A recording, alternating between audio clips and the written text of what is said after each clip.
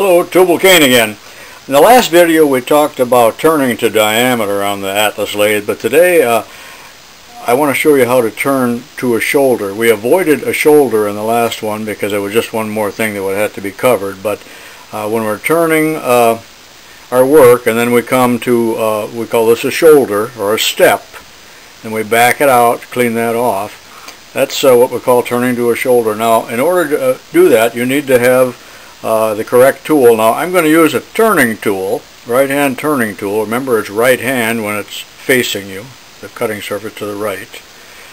But a uh, right hand turning tool is uh, has a little radius on the end and the included angle is about 80 or 85 degrees or somewhat less than 90 degrees and the purpose of that is because when we come into a shoulder, we need to have, uh, it's 90 degree, 90 degree shoulder, so naturally our tool has to be a little bit less than 90. Now the radius causes a little bit of a problem. It allows us to get a nice smooth finish, but we're not going to get a perfectly square corner. Now if you have to have a square corner, there are a couple things you can do. One is to go ahead and turn it like I'm going to show you with the turning tool and then come back in with a facing tool and face that corner come in and, and clean that uh, radius out of there and then face uh, out. Uh, that's one more setup. You might want to avoid that but that can be done.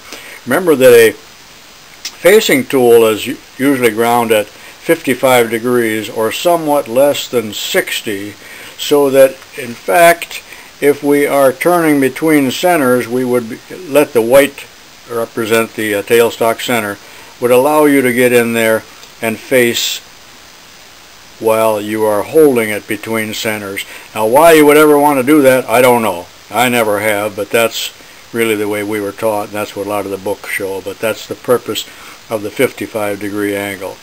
Now one, another way to do it yet is to uh, cut have a little undercut, something like this, that I'm drawing in with a pencil. That could be done with a cutoff tool or a parting tool. And uh, then you're not going to have a radius there. But for purposes of discussion today, I'm going to have a slight radius there and uh, because I'm using a right hand turning tool. Now we're going to step over to the Atlas lathe.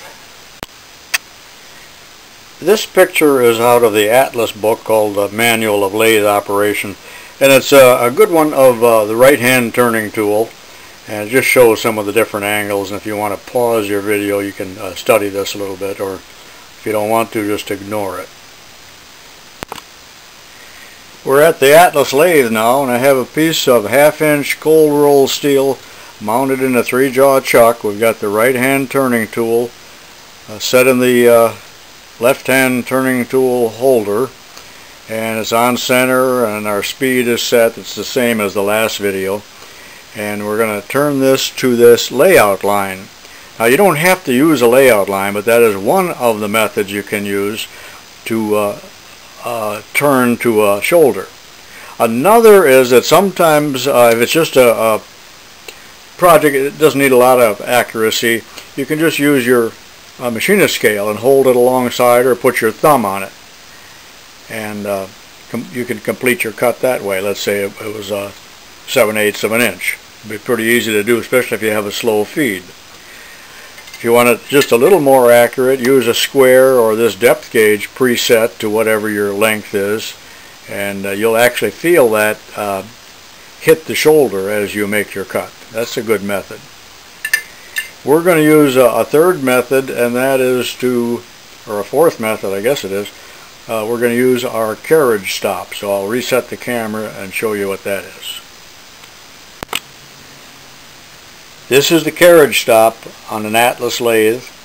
It is uh, it isn't included with the lathe. It's an accessory, so not all of you will have the luxury of owning one of these, but it clamps right onto the bed. There are two bolts here and can be moved into any different position uh, throughout the length of the lathe bed.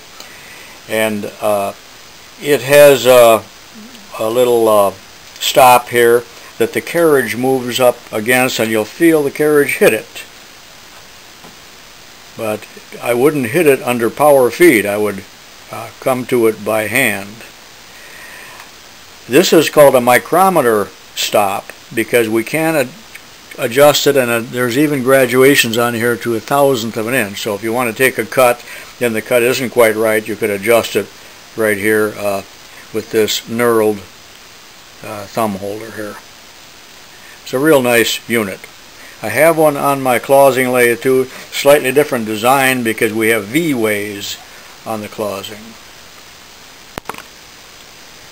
Alright, we're going to start the machine and using our power feed we will advance our uh, tool up to the layout line but I do have the uh, carriage stop set so here we go.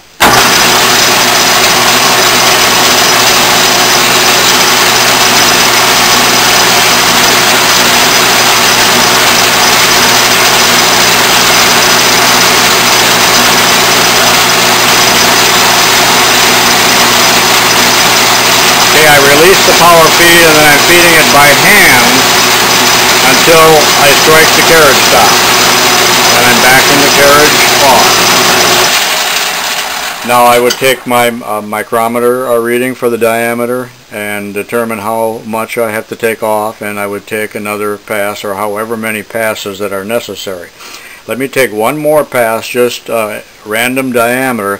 When I get to the end uh, uh, and I'm to satisfy that as the diameter that I want, then I will feed the cross feed out and that would uh, clean it up.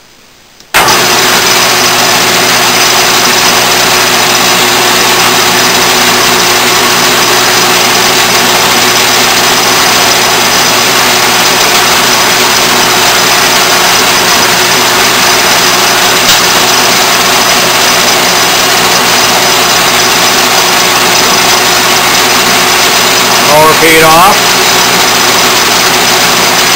Now, one other thing I like to do is I'm, in order to clean up that shoulder and back out my cross feed, I am going to uh, change the setting on that carriage stop just a little bit so I can feed in a little farther and uh, I, then I will feed out. It took off just a little more and now I'm feeding it out.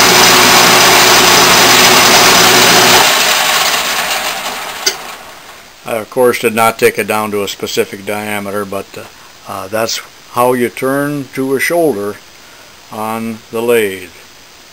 Tubal-Cain, so long for now.